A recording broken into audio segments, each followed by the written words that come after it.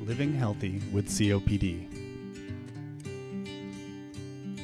Exercise and COPD. Tai Chi.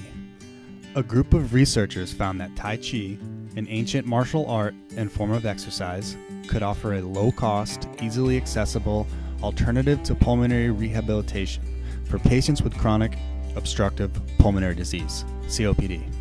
Michael Polkey, PhD, the study's first author, added Physical activity is key to reducing symptoms in COPD. We do recommend pulmonary rehab, but our studies show that Tai Chi is a viable alternative when there is no local pulmonary rehab service.